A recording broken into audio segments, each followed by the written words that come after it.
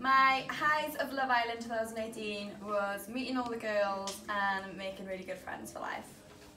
So my Love Island high was walking in with the six boys in Casa Amor, all really, really good lads. So my Love Island high would definitely have to be in the lineup standing forward for Niall. My Love Island high would be walking into the villa single and then coming out finding a girl and now having a girlfriend. Woo! My highs from being in Love Island is meeting everyone and the whole experience. My low would be getting kicked out after six days and not finding love. Uh, so my Love Island low was obviously being booted out of the villa and walking out, walking down that gravel pathway. That's a bit sad. My lows is getting up to that bright light every morning. I'm definitely not a morning person.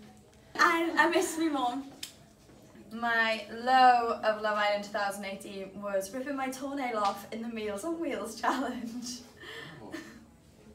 My Love Island low would be no Rosie. um, having to get up early and make breakfast and doing all that stuff. I hate. I hate getting up early. I'm kicking out Rosie. And getting out Rosie.